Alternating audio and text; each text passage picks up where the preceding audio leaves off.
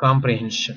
So one of the important quantum numbers to explain the Zeeman effect is magnetic quantum number. Values of magnetic quantum number are given m is equal to minus L2 plus L so that there will be total 2L plus 1 values and each magnetic quantum number represents a separate atomic orbital within a subshell.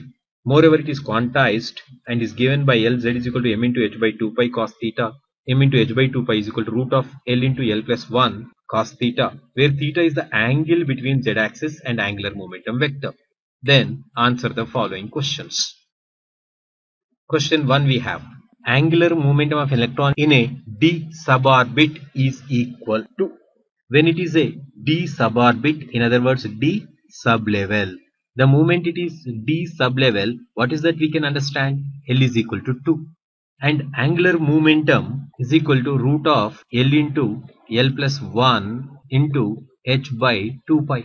So thereby L is 2. When L is 2, it is 2 into 2 plus 1, root 6 into h by 2 pi. So therefore, this will be the angular momentum.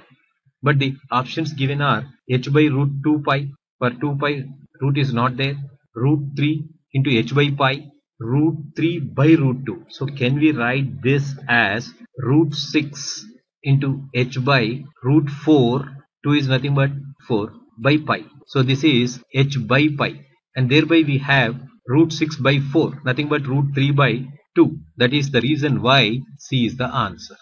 So D is 2 root pi is given so therefore this is wrong. So the answer is C.